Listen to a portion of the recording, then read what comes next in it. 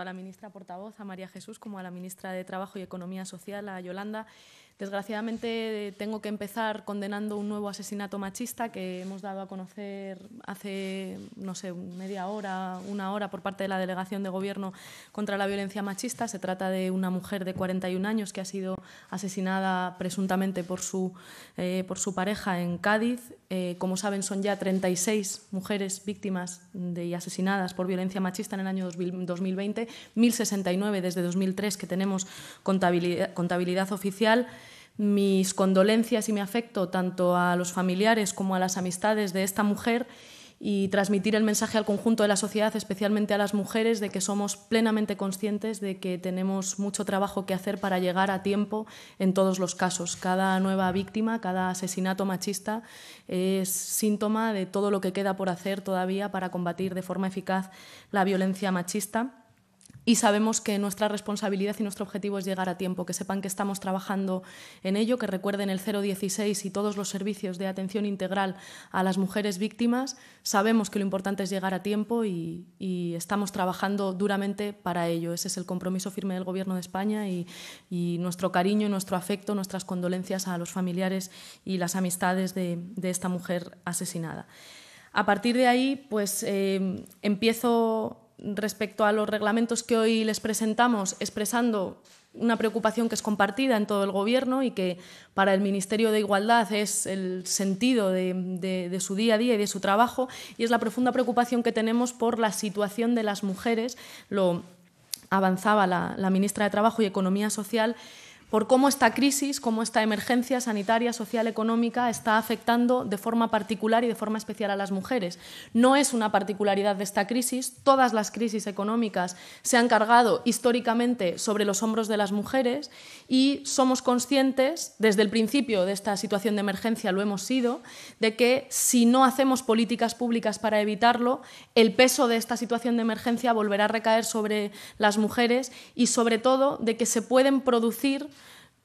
retrasos, retrocesos de muchos años en el acceso efectivo de las mujeres a muchos de los derechos que ellas mismas, con su esfuerzo, con el del movimiento feminista, con el trabajo también de muchas mujeres a nivel institucional, se han ido conquistando en los últimos años. Estoy pensando en la precarización del trabajo, estoy pensando en la vuelta masiva a los hogares que pueden vivir las mujeres que abandonen sus trabajos para dedicarse a tareas de cuidados, estoy pensando, por tanto, en salidas estructurales de las mujeres del mercado de trabajo y eh, no querría olvidarme de señalarles la influencia que tiene esto en la independencia económica de las mujeres, es decir, el efecto que puede tener sobre la dependencia económica de las mujeres y, por tanto, también sobre las violencias machistas. Una de las bases más importantes cuando hablamos de violencia machista, del origen de la violencia, por tanto, de los elementos que tenemos que combatir si queremos erradicar las violencias machistas, es precisamente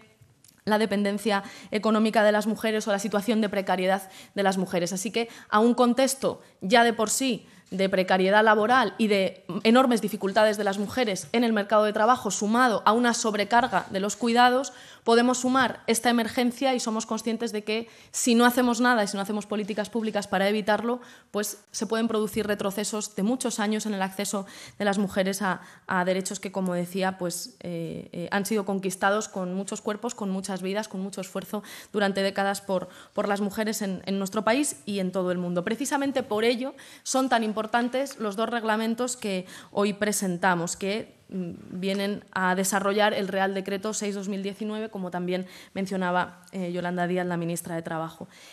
El mensaje es muy claro. Para recuperarnos de esta situación de emergencia,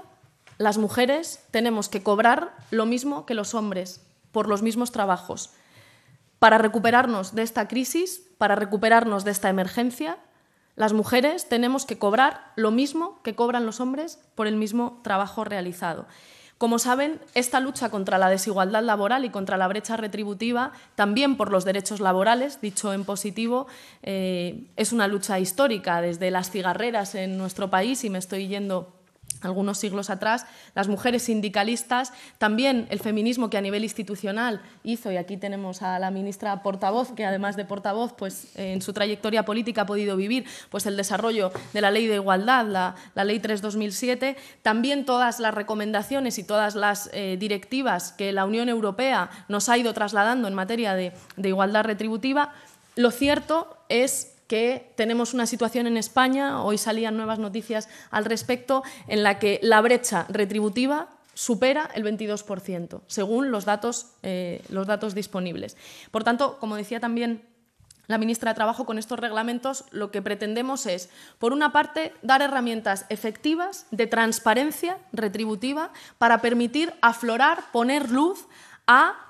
esas desigualdades retributivas, a esas desigualdades en lo que cobran hombres y mujeres que no son tan evidentes como parece y que muchas veces ni siquiera se detectan. Por tanto, con estas medidas de transparencia lo que hacemos es ayudar a aflorar desigualdades que en muchas ocasiones puede que ni siquiera exista conciencia de que existen. Y a la vez que ponemos herramientas de transparencia salarial y retributiva para garantizar que afloran, que ponemos luz y ponemos el foco sobre esas desigualdades, dotamos de herramientas a empresas y a representantes sindicales para poder pactar, acordar, negociar los mecanismos que les permitan en cada empresa y adaptando eh, las medidas a la realidad de cada empresa, que les permitan superar eh, esas, esas desigualdades. Hay una cuestión especialmente relevante. Cuando hablamos de desigualdad retributiva, de brecha retributiva, eh, solemos pensar en el salario base. y el salario base no es la mayor fuente de desigualdad. Lo son sobre todo los complementos retributivos,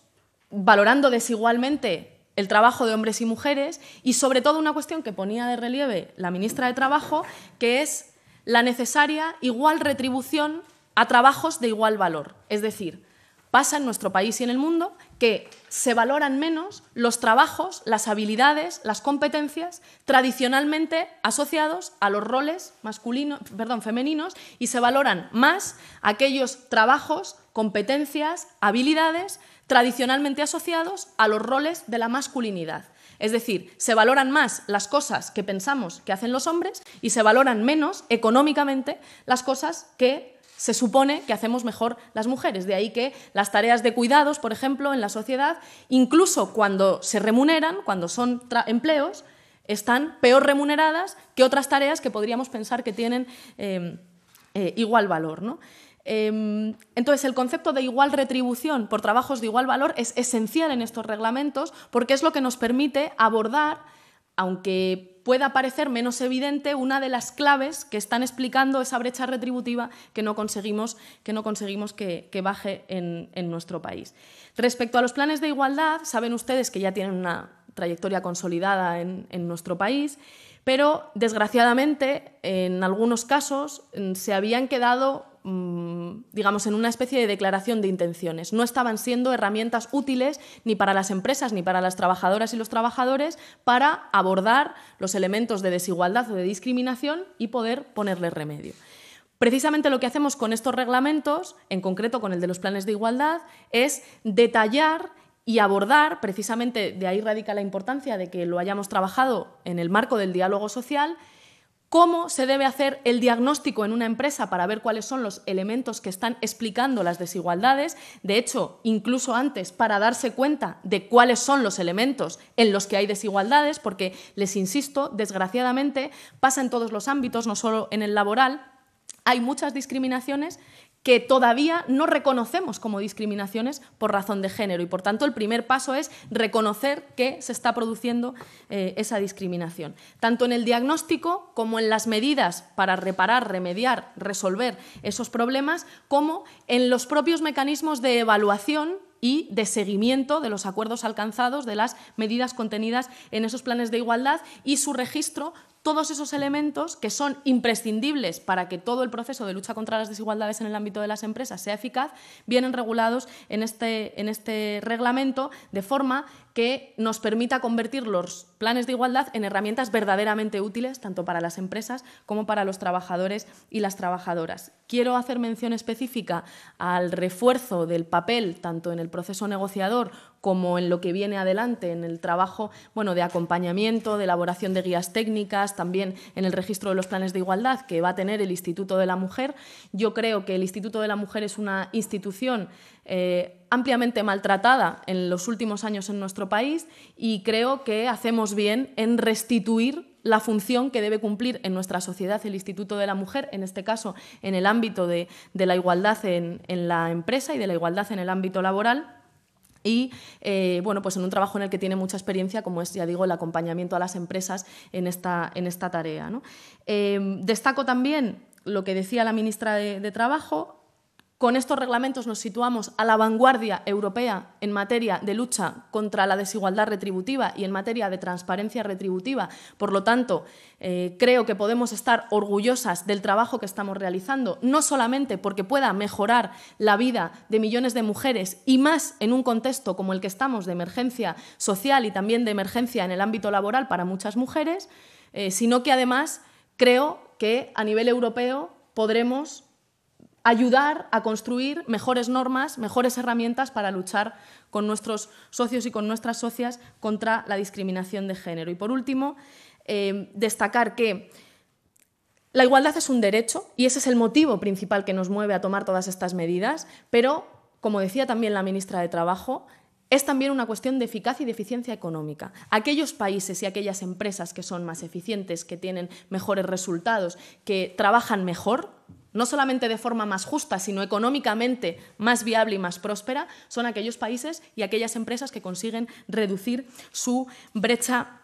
de género. Si en la anterior crisis la legislación que se aprobó por parte del Gobierno y en concreto la legislación laboral supuso una losa para las mujeres en nuestro país, en esta situación de emergencia lo que hacemos es entender que no va a existir recuperación económica, no va a existir recuperación económica si no acabamos y cerramos de una vez la brecha retributiva y pagamos a las mujeres y a los hombres lo mismo por trabajos del mismo valor. Por tanto, que la igualdad también en el ámbito laboral es un motor de la recuperación en nuestro país. Y termino diciendo una cuestión fundamental. Somos conscientes, en el Ministerio de Igualdad, las ministras que estamos aquí sentadas y el Gobierno en su conjunto,